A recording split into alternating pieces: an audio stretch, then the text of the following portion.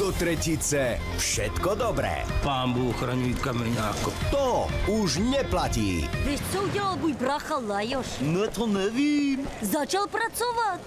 Joj, ten Dilino je schopný kvůli penězům udělat úplně všechno. To bude mazec. Ježiš, ty kreténe, teď vypadám jak prase. No, ještě tomu se spovila. Tak ti takovou vrazím, že ti ani ten tvůj Google nenajde.